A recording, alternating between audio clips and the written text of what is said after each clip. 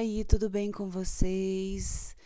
Gente, sabe aquele perfume? Lembra que eu fiz a resenha explicando que era perfume Oud, só com a amostrinha do essencial Oud?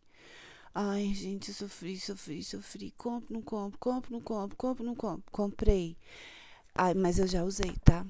Mas em compensação, eu não usei isso aqui que eu comprei junto e, e trouxe para abrir com vocês. Só deixei assim um pouquinho aqui, ó, assim, ó, para abrir com vocês. Eu não vou fazer resenha do Essential Wood, mas eu vou falar algumas coisas sobre ele, tá? Ele veio, ó. Oi, eu, nossa, vocês precisavam ver minha alegria quando eu já usei, já usei, tô apaixonada, as amostrinhas acabaram, né? Aí não teve jeito não, comprei mesmo, comprei e eu queria ter mais, eu queria ter mais, eu queria ter os outros. Nunca fui muito ligada na, nos, assim, mas esse Oud me, me conquistou. Tá aqui, que belezinha. A caixa dele fofinha também, vou deixar aqui deixar bem aqui assim. A sacola foi porque eu passei em outras lojas e amass... deu uma amassadinha. Vou até tirar daqui, tiro. Ah, deixa aqui.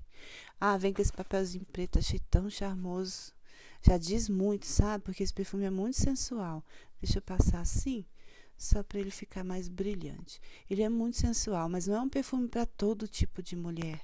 É só para mulheres. Tem assim, é o tipo ame ou odeie né? Ele não tem meio termo, ele tem muita madeira. Oud, ele é um floral. E aí, quando a gente borrifa, a gente sente aquele oud, uau, que perfume madeirado, parece perfume masculino. Esse sim eu acho compartilhável. Mas só que na pele das mulheres, ele dá um toque mais floral. Aí fica aquela madeira floral e aquele mistério todo, né? Esse oud é muito gostoso. Tem gente que diz que esse oud é sintético, acha, cheiro de oud sintético. Eu não acho, eu acho que esse perfume aqui também é um perfume nacional, com categoria de perfume de nicho, perfume caríssimo. E são poucas borrifadas.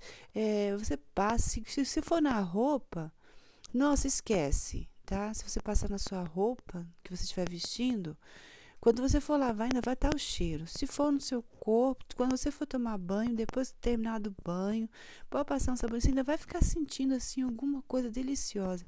Ele é muito sensual e não tem que pergunte que perfume é esse. Então é um perfume que você ama ou não. Eu amo, amo, amo, amo. E olha o tantinho que eu usei. Já tô com ele há mais de duas semanas, porque eu uso poucas borrifadas. Agora vamos abrir os outros. Sabe por quê? Gente, ó, a gente não tá na época de ficar gastando muito, não, né? Então eu vou abrir, sabe por quê? Eu comprei as loções. E vou abrir com vocês. Estava doida para abrir antes, mas eu preferi não. Falei, vou abrir com vocês. Vou abrir com vocês. Vamos ver aqui como é que é. Ai, a caixa é linda, olha. Olha que fofura. Hum, linda, né? Aí tem aqui assim. Ah, que isso, tirar com cuidado. Deixa eu ver aqui. Uai, que fofura, gente. Amor, já amei. Por que, que eu comprei assim? Ah, eu vou gastar mais de quase 600 reais? Vou nada comprar as loções. Aí aqui tá do exclusivo, que é uma delícia, do Ude para quando tiver dias mais quentes. Aí não precisa passar o perfume, passar a loção. E aqui o essencial tradicional, que é o que eu menos gosto. É esse aqui. Então, é, eu queria mostrar para vocês essas comprinhas porque elas me fizeram feliz. Porque a gente que coleciona perfume, a gente não costuma ganhar, não. A gente não ganha perfume porque, ah, ela tem muito. Muito pelo contrário, as pessoas ficam pedindo perfume pra gente. Mas se a gente coleciona, né? Como é que a gente pode ficar dando perfume se, gente, se cada um é único? Então, assim, para não ter que comprar o essencial estilo e o essencial tradicional, que é o que eu menos gosto, eu preferi comprar as loções e o wood para economizar meu wood, né? E aí eu tô muito feliz e vim compartilhar com vocês porque valeu muito a pena. E essa caixinha é muito fofa, muito fofa. Viu? Um beijo, até a próxima. Obrigada, amo vocês em Cristo.